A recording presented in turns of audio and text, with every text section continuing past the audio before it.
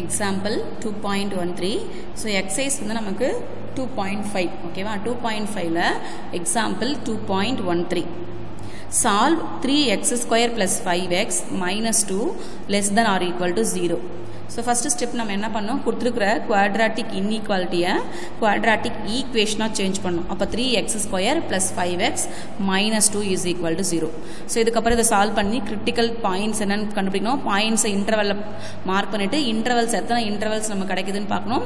So அதுக்கப்புறம் ஒரு ஒரு இன்டர்வல் நம்ம என்ன பண்ணோம்? ஒரு வேல்யூ எடுத்து எந்த வேல்யூ வந்து நமக்கு இன்இக்வாலிட்டி சாட்டிஸ்ஃபை பண்ணுது அப்படின்னு பார்க்க போகிறோம் ஃபஸ்ட்டு நம்ம குவாட்ராட்டிக் ஈக்குவேஷனை சால்வ் பண்ணிக்கலாம். ஸோ சால்வ் பண்ணும்போது நமக்கு எக்ஸ் ஸ்கொயர் பண்ணி என்ன இருக்குது ஒரு நம்பர் இருக்குது அந்த நம்பரால் மல்டிப்ளை பண்ணுங்கள் அப்போ நமக்கு என்ன கிடைக்கும்? மைனஸ் சிக்ஸ் அப்படின்னு கிடைக்கும். ஸோ அப்போ நமக்கு மல்டிப்ளை பண்ணால் மைனஸ் சிக்ஸ் வரணும்.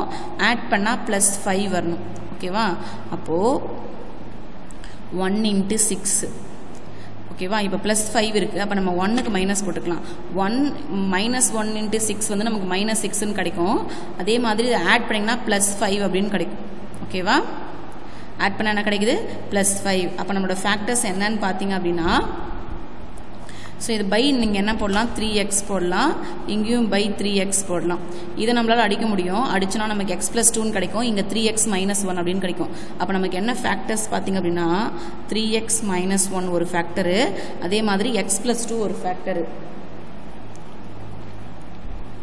ஓகேவா ஸோ இப்போ நமக்கு ஸோ நமக்கு த்ரீ எக்ஸ் மைனஸ் ஒன் அப்புறம் நம்ம ஈக்குவேட் பண்ணலாம். Three x minus one is equal to zero three x is equal to one x is equal to one by three எக்ஸோட வேல்யூ ஒன் பை த்ரீ அப்படின்னு கிடைக்கும்.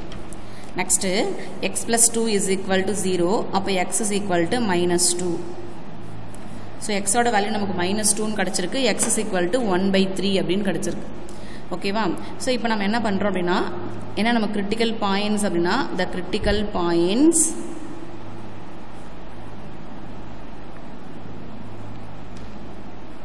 one by three comma minus two இல்லை minus two comma one by three ஓகேவா so இப்போ நம்ம இது என்ன பண்ணலாம் அப்படின்னா இன்டர்வலில் ஃபஸ்ட்டு பிளாட் பண்ணுறோம் minus infinity comma infinity minus two நமக்கு இங்கே வரும்.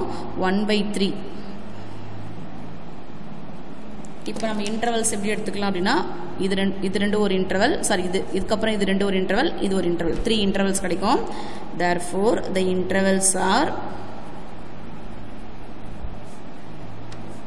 minus infinity comma minus 2 minus 2 comma 1 by 3 1 by 3 comma infinity. So இதான் நம்மளோட இன்டர்வல்ஸ் ஸோ இந்த இன்டர்வல்ஸ் நம்ம எடுத்துக்கிட்டோம்.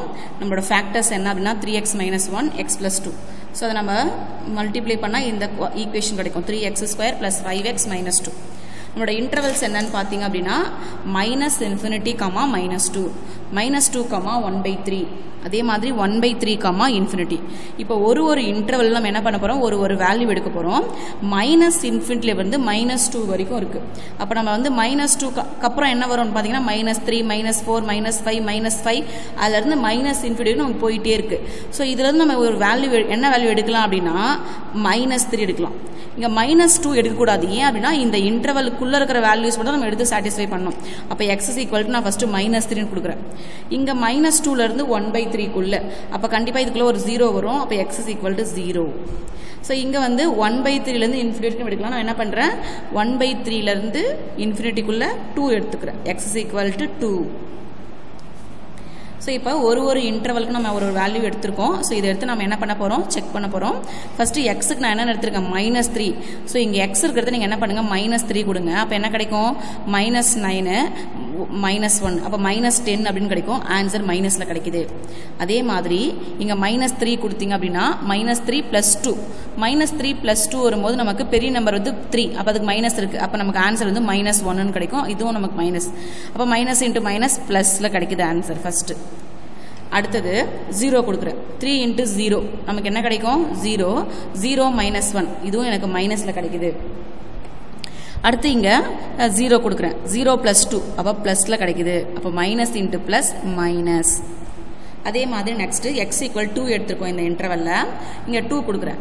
த்ரீ கூட டூ மல்டிப்ளை பண்ணிங்கன்னா சிக்ஸு சிக்ஸ் மைனஸ் ஒன் ஃபைவ்னு கிடைக்கும். ப்ளஸில் கிடைக்கிது answer plus five next two plus two எக்ஸுக்கு பதிலாக டூ கொடுத்தோன்னா two plus two four plus four இப்போ ஆன்சர் எனக்கு ப்ளஸில் இருக்குது அப்போ ப்ளஸ் இன்ட்டு ப்ளஸ் நமக்கு என்னன்னு பார்த்தீங்க அப்படின்னா ப்ளஸ்ஸு ஸோ இப்போ நம்மளோட இன்இக்வாலிட்டி என்னன்னு நம்ம பார்த்தோம் அப்படின்னா three x square plus five x minus two less than or equal to zero so less than or equal to zero அப்படின்னா நமக்கு நெகட்டிவ் ஜீரோ வரலாம். ஓகேவா ஸோ அப்போ நம்ம நெகட்டிவ் வேல்யூ எங்கே கிடைச்சிருக்கு நமக்கு அப்படின்னு பார்த்தீங்க அப்படின்னா இந்த இன்டர்வல்குள்ளே தான் ஸோ அப்போ நமக்கு ஈக்குவல் டு ஜீரோன்ற சிம்பிள் வந்திருக்கு. லெஸ் தென் சிம்பிளும் இருக்குது ஈக்குவல் டு சிம்பிளும் இருக்குது ஓகேவா ஈக்குவல் டு சிம்பிள்லாம் நம்ம என்ன பண்ணோம் இங்கே? ஸோ நம்ம இந்த இன்டர்வல்ல இருக்கிற வேல்யூவை இதையும் இன்க்ளூட் பண்ணி எடுத்துக்கிறோம். அப்போ நமக்கு என்ன ஆன்சர் பார்த்தீங்க அப்படின்னா therefore x belongs to minus two comma one by three ஓகேவா ஸோ நம்மளோட ஆன்சர்